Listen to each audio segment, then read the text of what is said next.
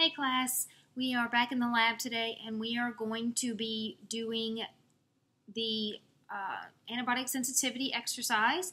And so this is an exercise where we are looking to see what antibiotic kills the bacteria.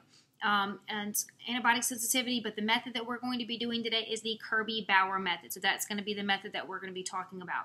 Um, so starting out, we're just going to do a little bit of review of what antibiotics are, where do they come from, how do they work, um, and then we're going to go over the method and I'm going to demonstrate the method for you.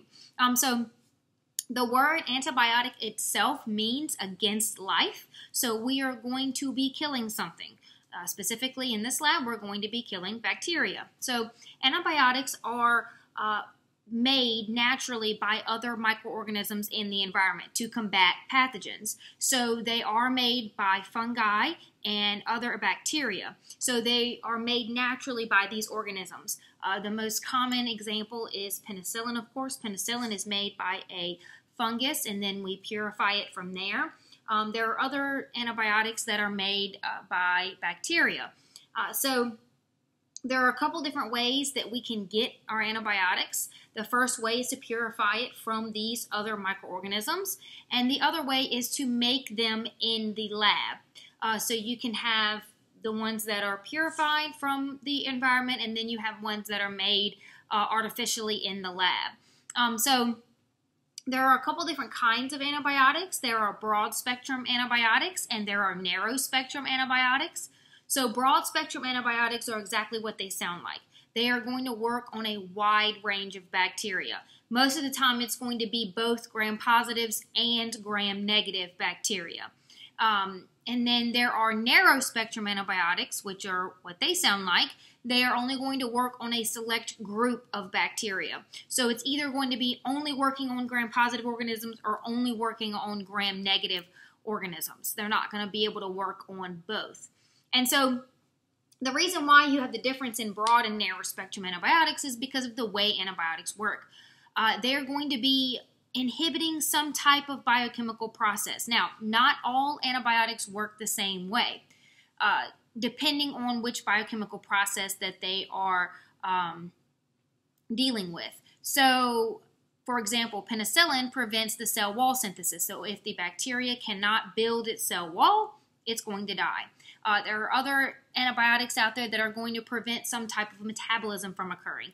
If the bacteria cannot make its ATP, can't get its nutrients, then it's going to die. Um, and or biosynthesis, that's the building of the cell wall, things like that.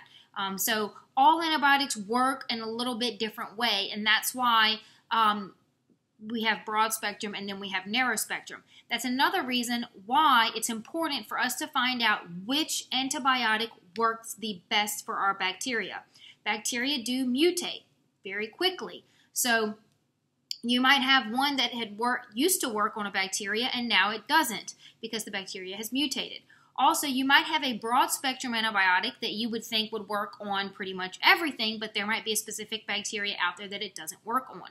So that's why we have to do this test. Um, so hopefully we can uh, not lead to any resistance because, of course, that is a problem if you um, don't kill all of the bacteria. Whatever bacteria is left will now have a resistance uh, to a certain antibiotic. So that's another reason why you're supposed to take all of the antibiotic whenever a doctor tells you to do that, um, so that you don't get a secondary infection or um, so that we don't lead uh, to resistance. So the method that we're going to be doing today is called the Kirby-Bauer method, and it uses what is called a disc diffusion technique. So there's a few things that you need to be able to do this method. The very first and most important is going to be your media. The media that we're going to use for the Kirby-Bauer method is called Mueller-Hinton. Mueller-Hinton is a specialized agar that is only used for this test. It's not used for anything else. So you need plates of Mueller-Hinton. You need a broth culture. So your culture has to be in a broth form because of the way that we're going to put it on the plate. And I'm going to show you how that's going to happen. And then you need antibiotic discs. So the way that you're going to put the antibiotic on the plate is in uh, the form of a very small paper disc. So each disc has an antibiotic in it, and I'm going to tell you those antibiotics. It has the antibiotic in it, and it has it at a certain concentration in the little paper disc. So let's talk about how we're going to do this. All right, so here are my Mueller-Hinton plates, and I don't know if you can tell this on the video, but these are really large plates. The reason why we use these large plates is because when we're testing for different kinds of sensitivity for uh, different antibiotics, we want to test usually a bunch of antibiotics at a time. So these large plates allow me to test up to 12 antibiotics at a time if I wanted to. Now, Today you are only going to test four, but if I wanted to, I could test up to 12 for these large plates. So here's my Mueller-Hinton plates. I've got three plates because I'm going to be testing the sensitivity on three bacteria. So I'm, um, and then I've got my bacteria here. The bacteria that I'm um, going to be using today is E. coli, Pseudomonas aeruginosa, and Staph aureus. So those are the three bacteria that I'm going to be um, looking at. I got two gram negatives and then a gram positive. So that's my broth culture.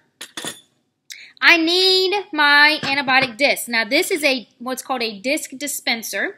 And so this dispenses the discs on the plates for me to where I don't have to touch anything because of course we want everything to be done a, um, aseptically. So the, I'll take one of these out of here. This is what the antibiotic uh, dispenser little thing looks like. And there are paper discs all stacked up into here.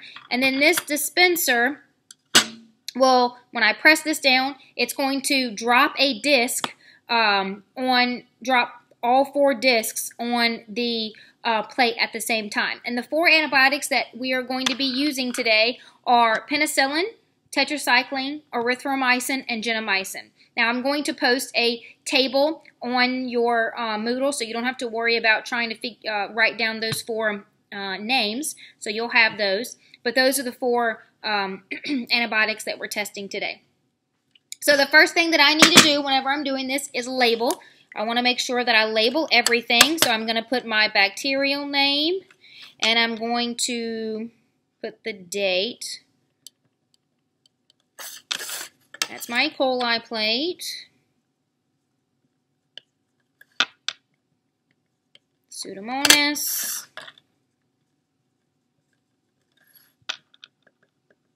And staph. Okay. And the way that we are going to do this is we want what is called a lawn of growth on these plates. So it's not like uh, a streak plate. So we're not going to be using our loop. We're not going to be using the Bunsen burner. Instead, we are going to be using a sterile cotton swab. Okay, so this is sterile. And so what I'm going to do is I'm going to dip the cotton swab into my broth media and I'm going to spread it all over the plate because we want a lawn of growth. We want the entire plate to be covered evenly in bacterial colonies.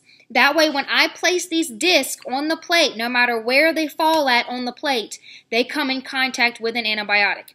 If you accidentally miss a spot and the disc so happens to drop there, then your results aren't going to be any good because there wasn't bacteria there in the first place. So you want to make sure that you get a nice even lawn of growth whenever you're doing this. So I'm going to go ahead.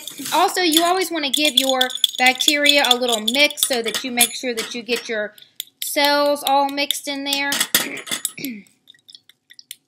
nice and even. All right. So now I'm going to start out with my staph, and all I'm going to do is take, dip once, that's all it takes. And then I'm going to spread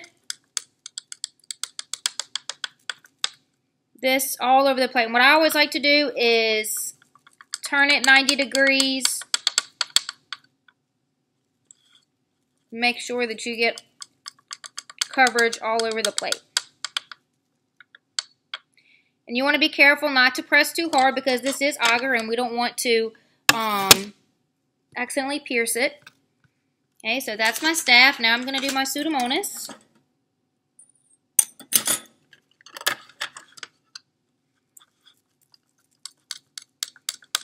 Normally I would hold these plates whenever I was do, do this, but these plates are too big for my hands, so it's kind of hard for me to hold.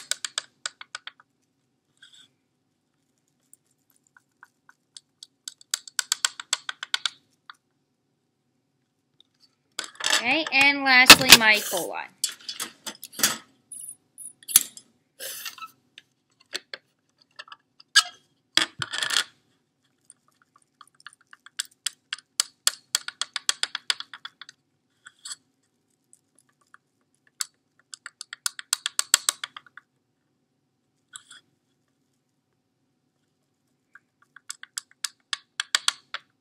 Okay, so all my plates are inoculated with my bacteria. So now I need to place the discs onto the plate. So all I do is take my plate, take my disc dispenser, put it over the plate, press down, and then there are my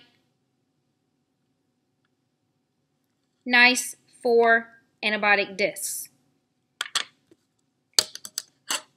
So that's my E. coli. Now I'm going to do my Pseudomonas. And I'm just using the end of this cotton swab just to kind of lightly press on the antibiotic discs just because remember whenever we incubate these, we want to incubate them um, inverted. So if I don't kind of tap these on here, whenever I invert the plate, they could potentially fall off and then that's not going to do any good. All right, so we've got our three plates inoculated with our discs and our bacteria, and I'm going to incubate these for 24 hours, and then I will read the results. So let's talk about what the results are going to look like. Um, so over the next 24 hours, the antibiotic is going to diffuse out into the media um, around the paper discs, and as it diffuses, if the bacteria is sensitive to the antibiotic, you are going to have an area around the disc where there's no bacteria growing at all. This area is called a zone of inhibition. So it's going to be a circle, okay, because the antibiotic is diffusing out evenly. And you are we are going to measure the diameter of that circle of that zone of inhibition. And depending on how large the diameter is, is going to it's going to tell us if the bacteria is sensitive, resistant, or intermediate to that certain antibiotic. Now, if there is no zone at all and the bacteria grows all the way up to the antibiotic disc, then that automatically tells me that this bacteria is resistant to the antibiotic. So the antibiotic is not going to kill the bacteria. Now, if the zone is a small zone, so there's still a zone there, but it's kind of on the small side, a lot of times this bacteria will be intermediate to that um, antibiotic.